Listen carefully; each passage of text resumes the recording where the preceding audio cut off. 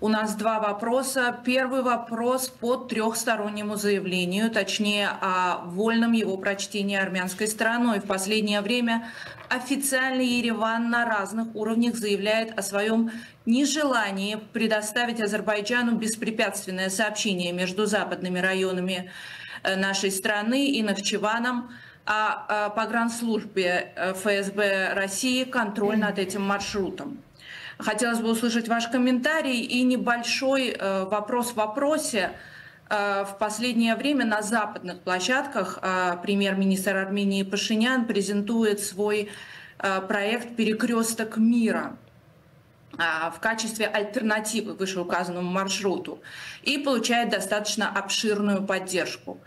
Вот хотелось бы узнать, как вы считаете, почему вне региональных партнеров Еревана так беспокоит э, открытие того маршрута, который указан в трехстороннем заявлении в девятом его пункте?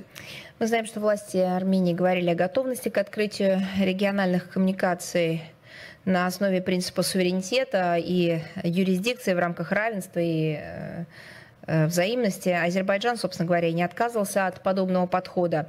Данная тематика ранее в деталях э, обговаривалась э, в формате трехсторонней рабочей группы под сопредседательством вице-премьеров России, Азербайджана и Армении. К сожалению, сейчас эта работа застопорилась ввиду позиции армянских коллег.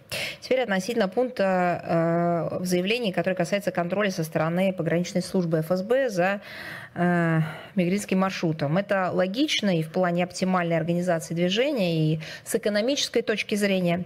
Российские пограничники и так расположены на юге Синикской области. Они защищают границу между Арменией и Ираном. По перекрестку мира не считаем, что это альтернатива мигрантскому или иному маршруту. Скорее, это более широкий взгляд на будущее региональных и субрегиональных коммуникаций. На полях 22-й э, сессии Российско-армянской межправкомиссии по экономическому сотрудничеству состоялась она 15 декабря 2023 года в Ереване. Заместитель председателя правительства Российской Федерации Алексей Верчук выразил поддержку проекту и отметил российский вклад в его реализацию.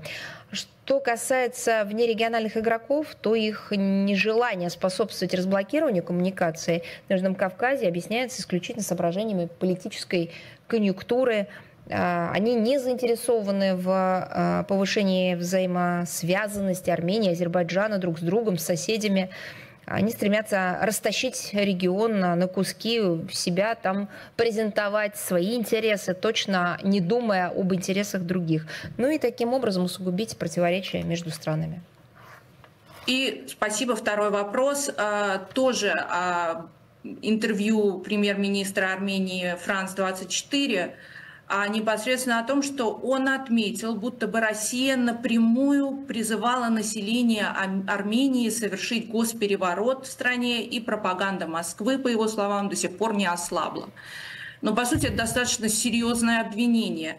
А вот как в Москве расценивают это заявление Пашиняна?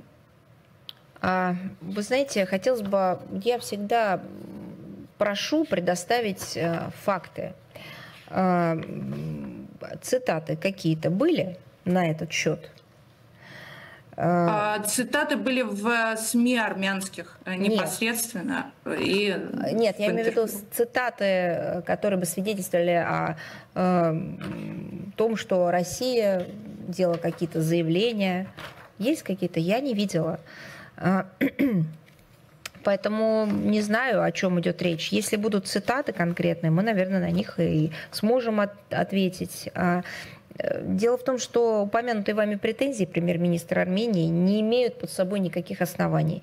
Российские официальные лица никогда не допускали даже намека на призывы к свержению законно избранных властей, где бы то ни было.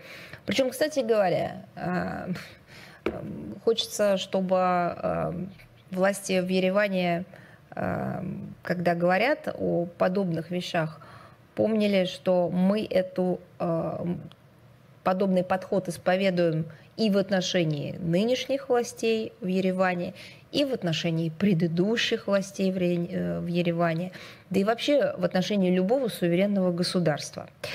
А возникает логичный вопрос, а те, кто сейчас находится у власти в Ереване, сами такой логики придерживаются в отношении других стран или в отношении собственного внутреннего политического процесса. Мне кажется, неплохо было бы порассуждать на эту тему. Мы же историю-то помним, новейшую, то, что было несколько лет назад. А вот российские официальные лица никогда не допускали даже намека на призывы к свержению законно избранных властей. Я повторю это еще раз.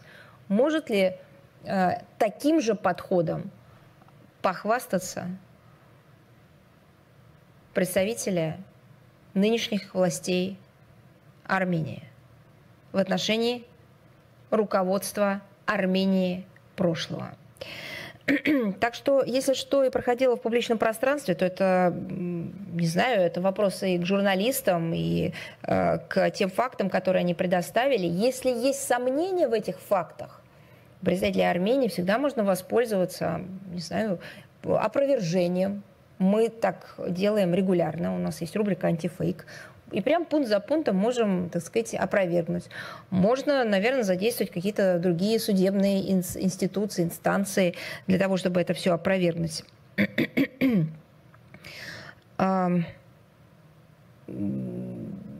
Поэтому мне кажется, что Москва и Ереван остаются действительно союзниками. И вот это является главным. К сожалению, на это почему-то в Ереване обращают меньше всего внимания.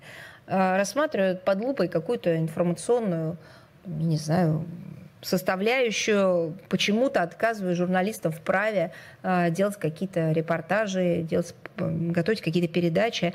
У нас есть официальные отношения. Эти официальные отношения проверены и временем, и под ними есть правовая база. А, с нашей стороны никаких действий, направленных на целенаправленное разрушение дружеских связей с, Ар... с Арменией, никогда не совершалось. Более того, мы неоднократно предлагали партнерам обсудить и разрешить все проблемы в рамках доверительного диалога. Мы пока не видим никакого встречного движения на этот счет. А, поэтому, мне кажется, все это просто под собой не имеет никаких оснований. А если они есть, пусть нам кто-то что-то предоставит, какие-то факты и так далее.